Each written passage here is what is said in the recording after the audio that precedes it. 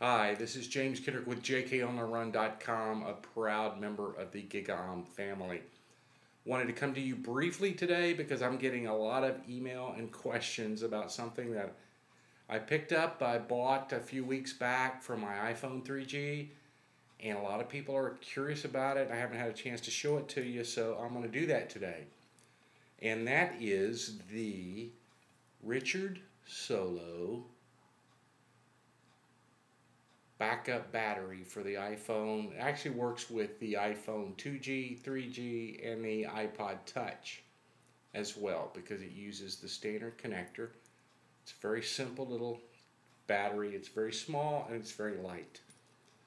Now what this is intended to do is, you know, a lot of people have uh, made a lot of commentary about the battery life of the iPhone 3G running 3G and so what the Richard Solo backup battery is designed to do is to completely recharge an iPhone up to 70% of its battery capacity. So what that means is once you drop down to 30% on your iPhone, you can pop this in and not only continue to use the iPhone, and I'll show you how that works in just a second, but it will also bring it back up to a full charge so that then you pop this off and off you go again. Now it comes very, very simply with a charger which is very small, which uses USB. As you can see, it's got a little red LED on the uh, surface so you can tell when it's working. And it comes with a really nice USB to mini USB retractable cable.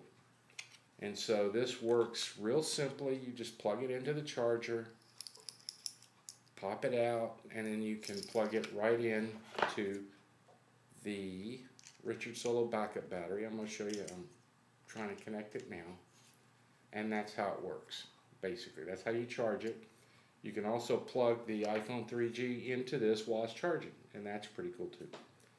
But in operation, it's very simple and I'm going to show you how that works. Here's my iPhone 3G, which right now probably has near full charge, so I don't need to use this, but I'm going to show you how it works. Now, first of all, on this side, if you can see it, there's several LEDs. One that says it's charging. When you're charging the battery, you can uh, see the LED. It says, yeah, it's charging. There's one that shows that it's plugged in and, uh, to the iPhone. It's supplying power to the iPhone and then there's a 100% LED so that you see when this is at 100%. So it's pretty slick. So basically what you do is you need to plug it in. So you just take it into your connector, you pop it in, and as you can see, it comes on, and if you can see by the little LED up there, it shows that it's charging. And it is. Let me turn that back on so you can see. It's charging the iPhone as we speak. You can see the little letter and actually the 100% light is on, so I was right. My iPod is actually, or my iPhone 3G is actually fully charged, and that's showing me that. But with this active, you can still use it. Now it's not as convenient, but it's very light. It doesn't add a lot of, uh, you know, a lot of bulk to it.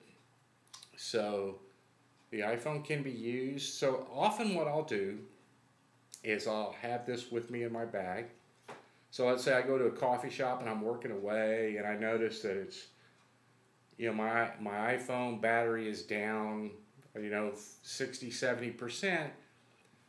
I'll just plug this in and set it on the table in front of me and just let it be charging. And then if I need to use it, I can still answer a phone call or I can just pop this off and answer a phone call.